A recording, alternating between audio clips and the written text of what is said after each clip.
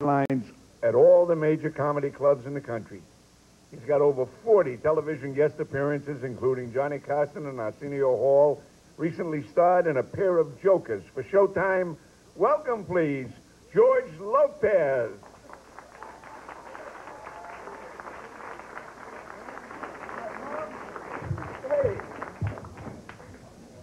Primero que decir que me da mucho...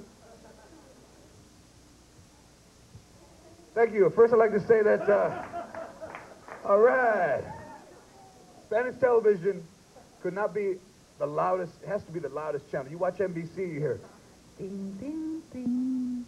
You watch Telemundo, estás escuchando Telemundo. That's why you ever see Mexicans in the front yard. It's too loud in the house, man. My grandmother's like, Mijo, turn the television down. I don't know where the pliers are. Man. Oh, that's right. I use the oven. Not a lot of Mexicans on television. It's frightening when you think that cowboys do salsa commercials. That's frightening to me, man. It, and you've seen the cowboys do the commercials. Hey, Cookie, what kind of salsa is that? Well, it's pace, and it's made in San Antonio, and it's got bunches muchas gracias in it. To me, that would be like if you saw no women in feminine hygiene product commercials. Who would be the Massengill spokesperson? Hi, I'm Cliff from IHOP. you ever feel not so fresh? Well, then try the Rooty Tooty Fresh and Fruity. I'm telling you, man, movies that come out that involve Latinos have subtitles. It's two words. My family. Mi familia. Oh. They don't do that to other movies. You don't see Waterworld, Mundo de Agua. You know, Forrest Gump, El Pendejo. They don't have that. There you go. You'll learn that word in your senior year. All right? You know, they name cars after our cultures. They have the uh, Festiva, which is Spanish for cheap car. I saw a Festiva that had a club on the steering wheel and the club was hanging out of both sides of the window. People break in and take the club. They have an alarm. Shh, I know the code.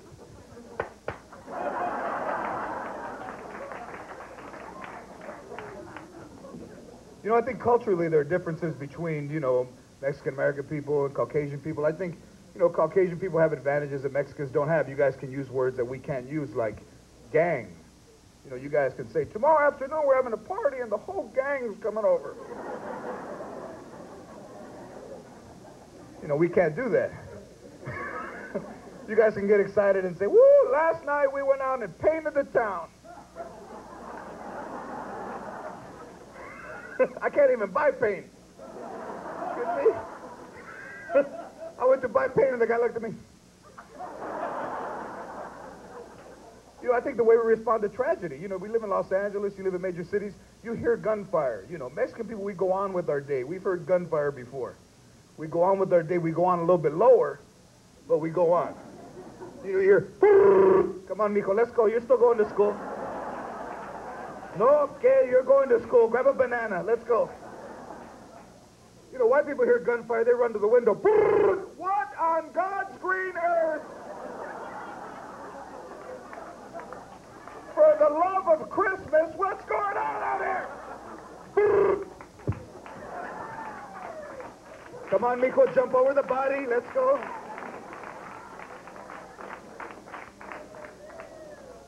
You know, I just find it interesting that, you know, people every year spend a billion dollars on tanning products.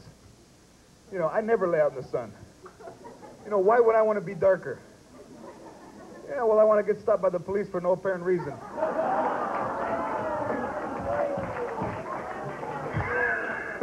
Hey, you know what? I actually got beaten by the police in 1978, and it was all recorded, but on beta.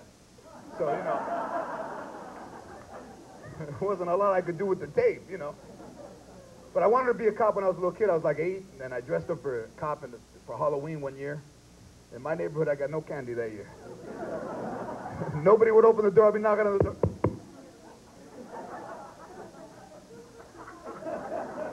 it's the cops. Put a little cop. Where?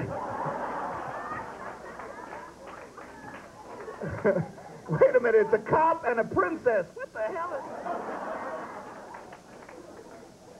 You know, I just think cops are different. When you watch television, that just for men hair curl commercial kills me. You know where the guy pulls the other guy over and goes, Hey, this isn't you. This is a younger man. Well, thank you. I've been using just for men. And in five minutes, it washes out my gray. Yeah, I'm sure that's happened to us many times. We've been pulled over by the police, and he's looking at our ID. Hey, this isn't you.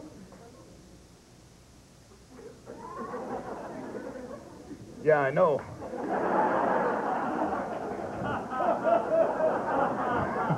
and in five minutes, you're going to find out it's not my car either. Yeah, my people.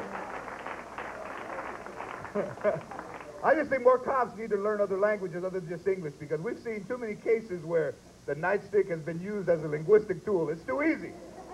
You know, you don't speak the language, you use the nightstick. Get out of the car, pero you know, get, get out of the car, pero no entiendo.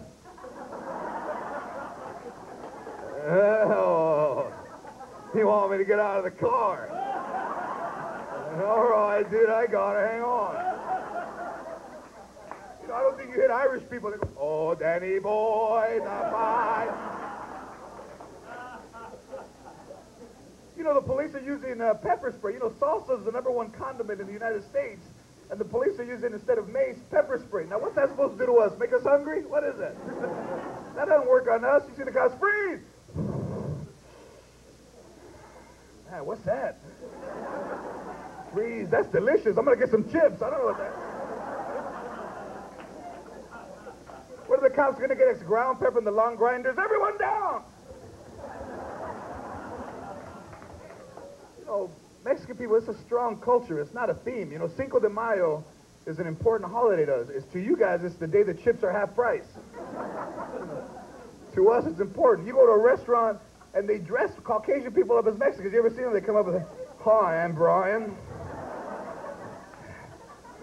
I mean, L. Brian. oh, man. When you go to the Red Lobster, is your waiter dressed up like a starfish? I don't think he is. Yeah, I'll be your waiter.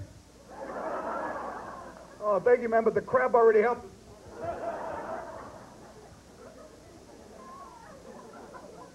You know, it stems from every place. I mean, Mexican food is delicious. It's the worst for you. I mean, it's high in cholesterol, you know, and uh, Mexican people, you know, we gain all our weight in our waist. We got like a big waist and skinny legs, which is a good look. You know, little kids are calling you, hey, Kool-Aid!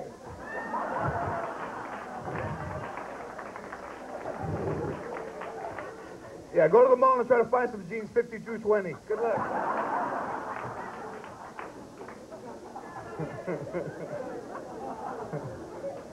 it's all the places. I mean, I think we need to get on television. I think, you know, we're not on television. I think we need to be. I think, you know, they send Latino reporters into the most dangerous situations which I love Latino reporters, and they always speak perfect English until they say their names. Then they go out. You know, pride is one thing, flamenco is another. You know, that's it from here. Reporting live, I'm Cristina Gonzalez.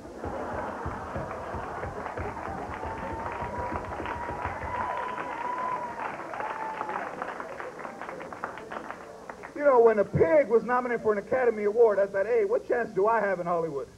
When you start nominating pork the other white meat. What chance do I have? If I had been in that movie, that pig would have been carnitas in 20 minutes. the director, where's Babe? Uh. Oh, you mean the talking pig? Yeah, man. He told me to tell you goodbye. I just think the culture's real popular, and you know, people want to be dark, which I can't find why people tan. You know, most people don't know how to tan. You know, you guys need to turn over. You know, most white people end up half red and half white. You guys look like Tylenol, man. Turn over. Tan legs and white feet.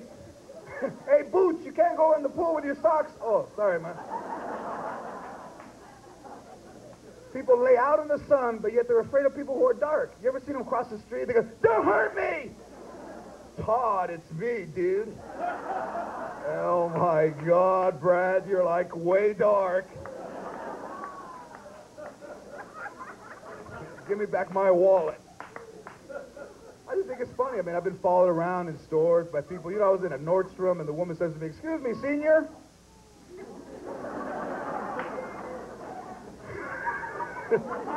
this line is for credit card holders only. I'm sorry. Come on, donkey. the hell is that? I got money. I'm not going to pay you with an upside down chicken. No, but I'm going to. Thank you guys very much. I appreciate it.